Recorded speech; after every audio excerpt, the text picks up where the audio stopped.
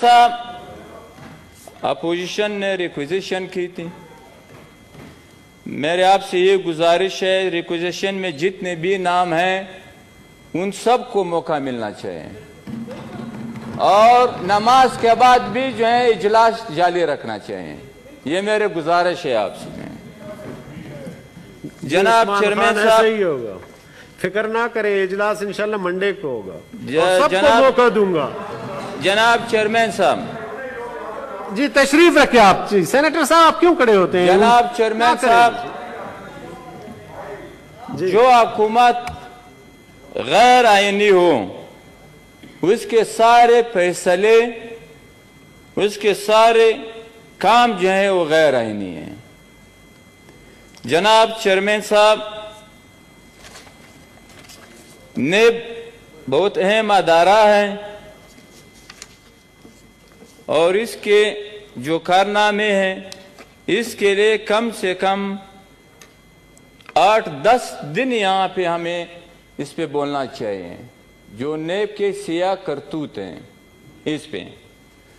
जनाब चेयरमैन साहब, नेब ने आप हैरान रह जाओगे कि नेब के कस्टडी में ये पाकिस्तान की जो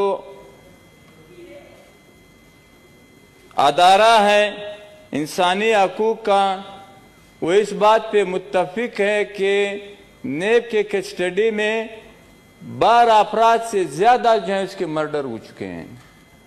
जिसमें प्रोफेसर भी है, वाइस चांसलर भी है, और बहुत से ऑफिशल्स भी हैं, जनाब चेयरमैन साहब।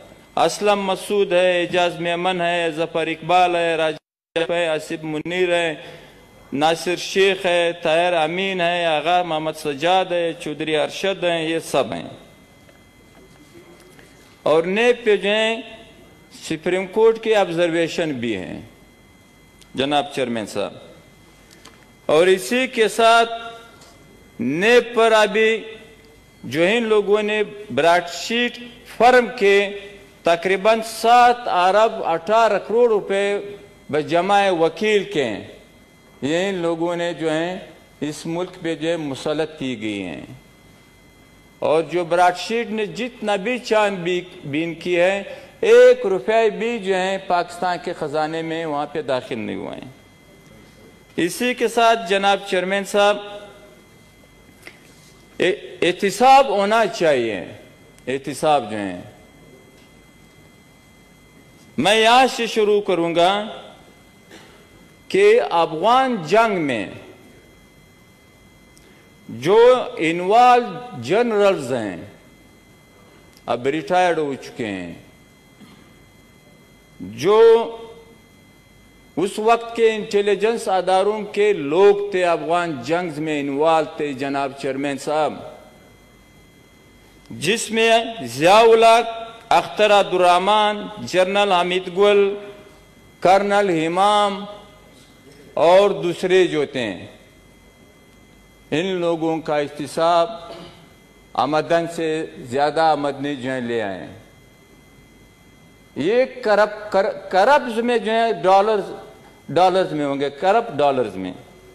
जनाब चेयरमैन साहब वार जोन जो इस मुल्क के अंदर हैं फाटा बलूचिस्तान जो वार जोन है इसमें जिसने भी हमारे फौजियों ने रिटायर्ड फौजियों ने ड्यूटी की है।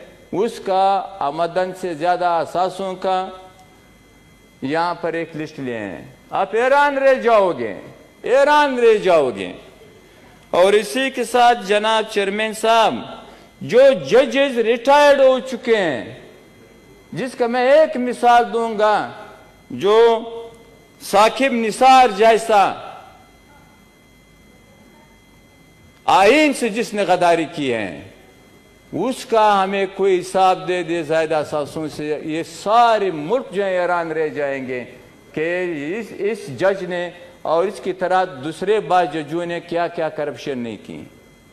जनाब चेयरमैन साहब, बाज मीडिया मालिकान, बाज मीडिया इंकर्स और इसी के साथ जनाब चेयरमैन साहब, जो जनरल मुशरफ जिसने जो करप्शन किया है, कोई तो ये जुरत कर ले कि उसके आमदन से ज़्यादा असासों के। मैं एक मिसाल अभी दूँगा, जो मिनिस्टर साहब बैठे हुए तो उसके पीछे जो एडवाइजर बैठा था। अगर आप इसके असासों को नोट कर ले, आप हैरान रह जाओगे। शहजाद अकबर, में नाम भी लूँगा। वो नवाज़ शरीफ और जरदारी और दूसरे से जो है, वो इतना मुकदस है नहीं। जनाब चेयरमैन साहब, यहाँ पर मलक रियाज, जिसके तकरीबन पाँच हज़ार एकड़ ज़मीन से ज़्यादा केस आया केस आया, साकिब निसार ने 300 400 एकड़ पे जो है वो सारे माफ़ कर दिए गए कोई इंसाफ तो होना चाहिए, जनाब चेयरमैन साहब। और इसी के साथ जनाब, नेब जो है वो बिल्कुल ग्वांटानामो बे हैं। जैसे अमेरिकन ने मावरा आइन, कोई अदारा बनाया था, कोई जेल बनाया था, जहाँ दुनिया जान से जो है कैदियों के लाकर ग्वांटानामो बे में रखते थे, जिसमें कोई कानून भी इस पे अप्लाई नहीं हो रहा था। तो नेब को भी ऐसे अदारा बनाया गया है कि ग्वांटानामो बे की तरह, जिस पे जो है कोई भी कानून इस मुल्क का जो है इस पे अप्लाई नहीं होते हैं। जनाब चेयरमैन साहब, बिल्कुल नेब जो है एक मार्शलाई अदालत के तौर पे जो है ये लोग यहाँ पे चला रहे हैं, जिससे कोई भी पार्टी, कोई भी पार्लियामेंट्रियन के लिए जो है, ये काबिल कबूल नहीं है। और इसी तरह जनाब चेयरमैन साहब, मसला ये है कि यही नेब का चेयरमैन मिसिंग पर्सन का हेड था जो उसका एक कमीशन था। हब भी हैं। इसके करतूत जो है और इसके जो इंक्वायरी रह जाओगे कि इसने आइन की खिलाफ वर्जी की, इंसानी हकूक की खिलाफ वर्जी की, कोई भी पूछने वाले नहीं, जनाब चेयरमैन साहब। खुर्शीद साहब को आप देख ले, ख्वाजा आसिफ साहब को आप देख ले, आप हैरान रह जाएँगे कि लोगों ने क्या नहीं किया। इनके साथ जो है जो आप भी चल रहे हैं इस लोगों की जो है। जनाब चेयरमैन साहब, मसला ये है कि, अब आपको भी मालूम है, हमें भी मालूम है। कि इस ग्वांटा नामोबे के खिलाफ जो है हमें सब मुतहद होना चाहिए। जो इन लोगों ने यहाँ पे रखा है। और नेब के जो अभी सरबराह हैं, नेब के सरबराह, वो बेचारे खुद भी मौजूदा हुकूमत और उसके साथ स्टेब्लिशमेंट भी था। इसको ब्लैकमेल किया, जो टेलीविज़न पे आ गए, सब कुछ जो है। अभी अपने वो ब्लैकमेलिंग की वजह से जो है, जो भी हुकूमत कहते हैं जो भी वजर अजम हाउस में बैठा जनरल मैनेजर इमरान खान जो है, वो मजबूर है। उसको कोई चारा है नहीं। कोई चारा है नहीं उसके लिए जो है। और इसी के साथ जनाब चेयरमैन साहब, मसला ये है कि यहाँ पर अब आप जज, जजों के असासे जो है, आप उसको वो कर लें। रिटायर्ड जर्नलों के असासे आप चेक कर लें, आप हैरान रह जाओगे। और माजी में, तिहत्तर साल में, जो खासकर मुशरफ के साथ जो पॉलिटिकल पार्टियाँ थी, जो सियासतदान थे, आप तो उसके जो है दस परसेंट के सिर्फ़ असासजात तो चेक कर लिया, आपको मालूम हो जाएँगे कि इन लोगों ने क्या क्या नहीं किया। जो ऑस्ट्रेलिया में उसके जजीरे हैं जो जनरल पाशा और जो यहाँ पे अभी मुतहदा नामनिहाद मुस्लिम ममालिक के फौजों की सरबराह हैं, हरब शाहों की वहाँ के तनखानदार है जो हमारा सबक आर्मी चीफ था। आप उसके वो ले लें। इन लोगों की जमीनें ले लें, इन लोगों की जो कोर्ट ने कहा था, सुप्रीम कोर्ट के जज ने कि आईनी तौर पर उसको हक नहीं है? जनाब, यहाँ पर मसला ये है कि सारे मुल्क की जो पॉलिटिक्स हैं, इसमें जो पीडीएम का जो बयान बयानिया है, वो ये है कि स्टेब्लिशमेंट सियासत में इन्वॉल्व ना हो इलेक्शन में इन्वॉल्व ना हो। ये है आइन की बात। इन लोगों ने अभी तीन महीने से, दो महीने से सेनेट को भी ताला लगाया गया है। ये अपने आप को पार्लियामेंटेरियन कहते हैं। असूल परस कहते हैं। इन लोगों ने कौमी असेंबली को ताला लगाया गया है। ये अपने आप को असूली कहते हैं। कोरोना की आड़ में। कोरोना की आड़ में आप नहीं छुप सकते हो। हाइन क्या कहते हैं? आपके दौर में जितना पार्लियामेंट की पामाली हुई है, आप तो वही मुशरफ के शागिर्द। हो उसी के पाले हुए हो। हमें मालूम है मुशरफ ने खुद कहा कि इमरान साहब आ गए, मैंने कहा कि मैं आपको आठ सीटें दूँगा। उसने कहा, नहीं, मुझे अस्सी दे दूँ। इजाज़त दे दो सोमवार के दिन मैं वही क्लिप जो है यहाँ पे करूँगा। आपने कागजात उठाए मैं आपको, आपके लीडर के क्लिप जो है दस यहाँ पे। अगर किसी में ये जुरत है आप लोगों में तो आप फिर दूसरे चेयरमैन की इजाज़त दे दो, मैं वही क्लिप यहाँ पे आपके वो जो करूँगा। बात ये, जो आपको लाते हैं, फिर वो ठीक है। फिर आप कहते हैं, जब पीडीएम कहते हैं कि आधारों पे हमला है। जब आपके लीडर कहते हैं, वो आधारों पे हमला नहीं है। बात यह है कि आप मुसलत हो। आप गैर आईनी तरीके से यहाँ पे मुसलत कर दिए गए हैं आप लोगों को। आप वो लोग जो भी कहेंगे, कर्नल आप लोगों को मानना पड़ेगा। चाहे इसराइल की तस्लीम हो, आप लोगों को मानना पड़ेगा। ये महँगाई आप लोगों को मानना पड़ेगा। ये जो गैर आईनी काम है, आप लोगों को मानना पड़ेगा। क्योंकि आपकी सरबरा का सार इख्तियार एक कर्नल के पास है। आपके लोगों की ये हैसियत है, ये हैसियत है अपने हैसियत को देख लो, फिर यहाँ पे बातें क्या करो। और यहाँ पे आपने मौलाना पुलरहमान जो इस वक्त पीडीएम का सरबरा है, हम इंशाला मौलाना फजलरहमान साहब की सरबराही में जो दस पार्टियाँ हैं, आपको जो है मजबूर करेंगे कि आप इस्तीफा देंगे नया इलेक्शन के लिए। मौलाना फजलरहमान साहब के क्यादत में इस्टेब्लिशमेंट को हम मजबूर करेंगे कि वो आइन कानून की पाबंदी करें। पार्लियामेंट के बालादस्ती को जो है वो तस्लीम कर लें। आइन कानून के हुक्मरानी को चलने दे इस मुल्क में जो है। आप तो नेब की बात कर रहे हो। इंशाल्लाह आइंदा पाकिस्तान में कोई भी किसी इंटेलिजेंस अदारे के कंधों पे जो है पार्लियामेंट नहीं पहुँच सकते हैं। आवाम की ताकत से आएँगे। आवाम की ताकत से आइन, कानून और इलेक्शन कमीशन के कानून के मुताबिक आएँगे। जनाब चेयरमैन साहब, यहाँ पे ये है, वहाँ पर एक दिन प्रेस कॉन्फ्रेंस में इदरीस साहब ने कहा कि ना छेड़ मलंगानू। मैं ये कहता हूँ कि ना छेड़ उरियत पसंदों को, जमहूरियत पसंदों को वतन दोस्तों को ना छेड़ मसला ये है कि आप मीडिया की हब जो है आप इतने फॉलोअर बन गए वो मीडिया जो मुकम्मल तौर पे जो है एसपीआर के कंट्रोल में हम इस अमल के जो है पर ज़ोर मुजम्मत करते हैं उसी दिन हामिद मीर साहब से मेरे बहुत से इख्तलाफात हैं ये भी मैं रिकॉर्ड दिलाना चाहता हूँ कि मेरे उसके साथ इख्तलाफात हैं हामिद मीर से। अली मोहम्मद खान साहब उसके पास बैठे हुए थे कहते कि बोलो। उसने कहा कि आप हुकूमत ने पाबंदी लगाए आप पाबंदी उठा ले मैं बहुत कुछ कहूँगा अपने प्रोग्राम में जाए। हाँ अली मोहम्मद खान साहब खामोश रहे।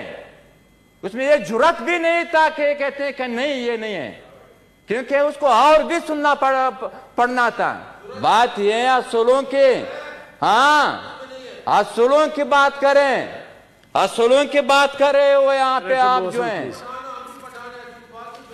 बात यह है बात है वहाँ पे कहते हैं वहाँ पे कहते हैं वहाँ पे कहते हैं। बात यह है कि महमूद खान सेनेटर मोहसिन साहब, है, महमूद खान अशरफजी ने जो कराची में कहा है ठीक कहा है। मेरी कौमी जबान पश्तो है। बलोच की कौमी जबान बलोची है। पंजाबियों की कौमी जबान पंजाबी है। सराइकियों की कौमी जबान सराइकी है। सिंधियों की कौमी जबान पाँच हज़ार साल से सिंधी है। महमूद खान ने ठीक तारीख बयान की लाहौर में जो है। हमने जब शाह शुजा अफगान को नहीं बख्शा है तो किसी को भी नहीं बख्शेंगे जिसने भी जिसने भी अंग्रेज़ की तनख्वाह ली हो। जो भी अंग्रेज़ के फौज में थे, ये आप सुन ले, आपके पार्टी में ये जो मखदूम है, मखदूम, इसके आबाओ अजदा का मालूम कर लो। ये जायदादें ये इन लोगों की जो पैसे तनख्वाह जो हैं, हमें मालूम है आठ रुपए पे तनख्वाह ले तनख्वाह ले रहा था। इन लोगों की इज़्ज़त भी है ये, मखदूम की, मुल्तान वालों की।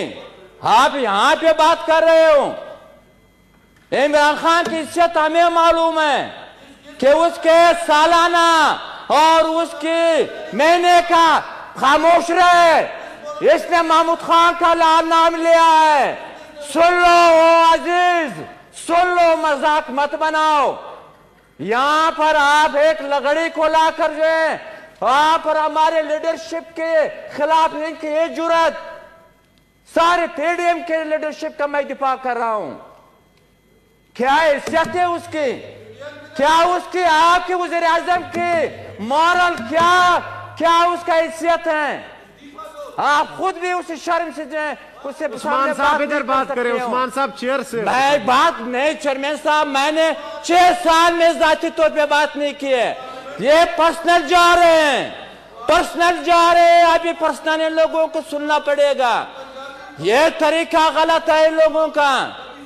इनका लीडर का क्या हैसियत है? इस मखदूम का क्या हैसियत है? जो इन लोगों के साथ है इन लोगों के क्या हैसियत हैं? हमें मालूम है।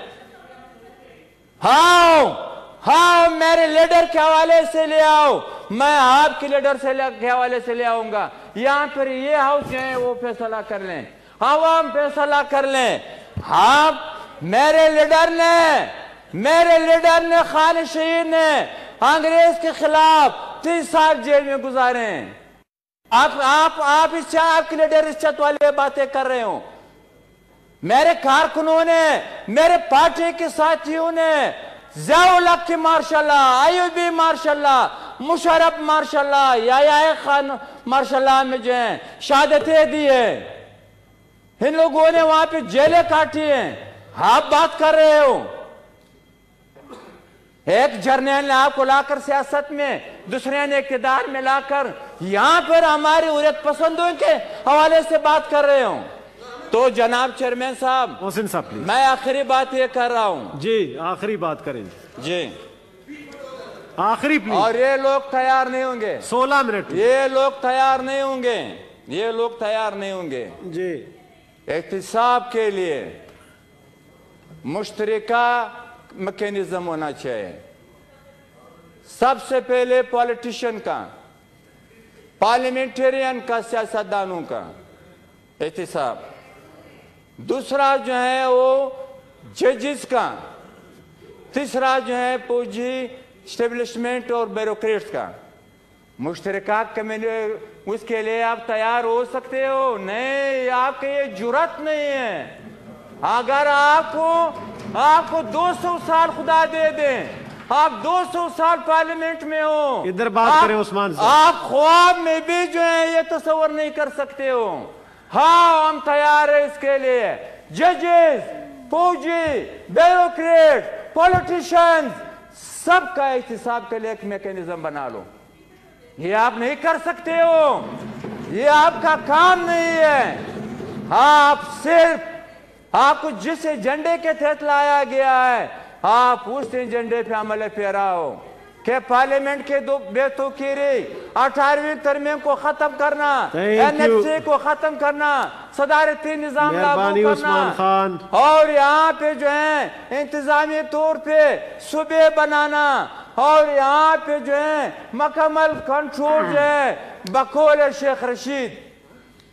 बकौल शेख रशीद के गेट फोर वो खुद गवाह है इस बात के। वो खुद गवाह है। ख्वाजा आसिफ के इलेक्शन में जो है आपका मिनिस्टर गवाह है कि वहाँ पे फ़ोन हुआ जीएचक्यू को? फिर उसने जो उसके कामयाब करवाया। आप खुद गवाह हो। और गवाहों की ज़रूरत क्या है हमारे लिए जो है? काबिने में लोग बैठे हुए गवाह है। हुकूमत में बैठे हुए गवाह है। और आपके अंदर जो जमीर है वो खुद आपके अंदर जो जमीर है वो गवाह है। थैंक यू सर मेहरबानी। सेनेटर कबीर माम